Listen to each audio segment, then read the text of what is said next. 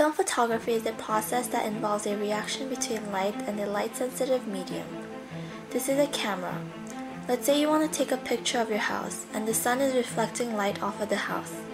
When you take a picture, the shutter opens and allows light in. Now the film inside the camera is exposed by the light. This plastic strip known as the film is composed of six layers. The first layer is a scratch resistant coating that protects the layers below.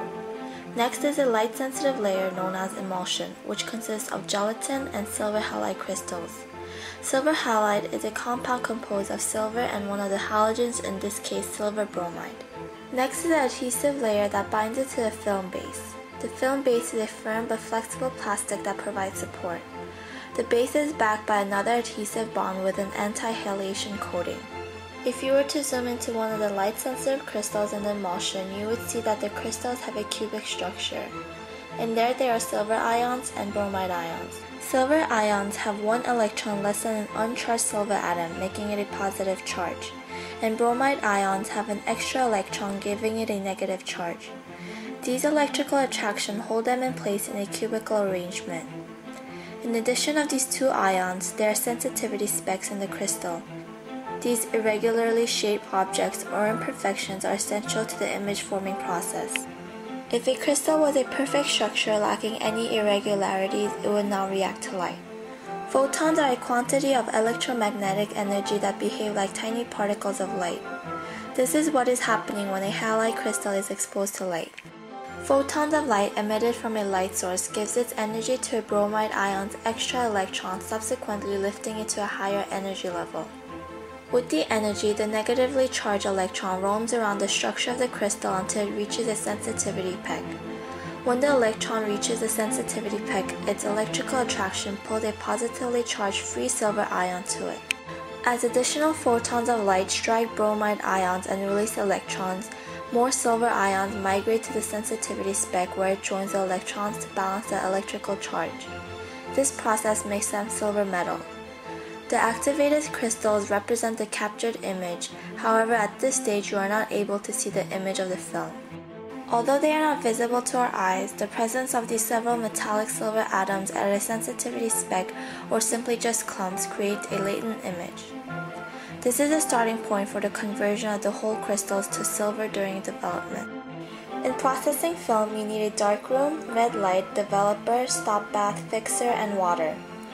In a dark room, we only use red light because it is the only color of light considered to be safe, meaning the only color of light that would not clump up the crystals in the film. Red light has a low frequency. As a result, it has less amount of energy per photon. Since the amount of energy in the photon of red light is too small, the electron will not have enough energy to escape from the bromide ion no matter how many photons strike the surface.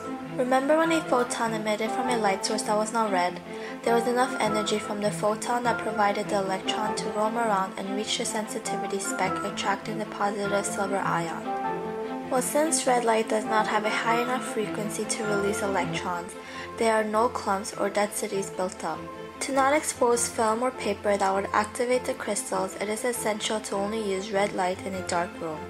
In the first step of processing, the film is placed in a solution known as the developer. In the developer or the reducing agent, millions of exposed crystals are converted from silver ions to silver metal.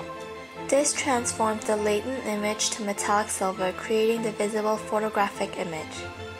Next, you put the film into the stop bath tray. This is an acidic chemical that stops the development process by neutralizing the alkaline developer. The next tray contains the fixer. This solution removes the unexposed and unactivated bromide ions. This only removes silver halide crystals leaving its converted form silver metals behind. Finally, you put the film in the tray with water to clean the film and remove all the processing chemicals. These chemical processes result a record of the camera's view in which the area of the film struck by the most light are darkened by metallic silver, while the areas struck by no light remain transparent since they contain no silver, and shades of gray are created in the intermediate areas that have varying amounts of silver. These variation in density allows you to recognize the film as a negative. Now you want to print the negative onto photographic paper. In this process, you are reversing the negatives using an enlarger. Just as the film had emulsion on a clear plastic base, photographic paper has emulsion on a whole paper base. To develop the latent image, the photographic paper goes through the same chemical process. Photographic prints are made by exposing paper to light projected through a negative. The amount of light that reaches the paper varies depending on the density of the negative. Areas where more cones are built because more light was exposed results a dark, thick density image which allows less light to be projected through a negative. Therefore, that particular area of the paper remained unexposed and light. Areas that are thin or transparent because it was an area with less or no light had halide crystals removed by the fixer. Thin areas of a negative are rendered as dark areas in the print. Therefore, the print produces the original subject rendering a positive image.